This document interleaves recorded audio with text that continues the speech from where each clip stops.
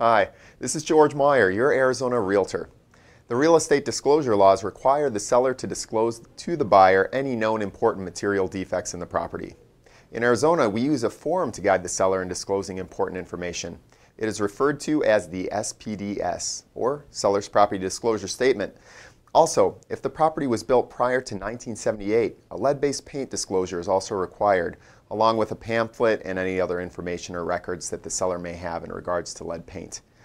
If the home is located within an HOA or homeowners association, then the seller must disclose this and the CC&R's, association bylaws, and dues must be provided. If this is a brand new home purchase, then the subdivision disclosure report, otherwise known as the public report, is required to be provided to the buyer, which details information about utility providers, nearby services, access to schools, property taxes, etc. So I hope this helps you better understand real estate disclosure laws.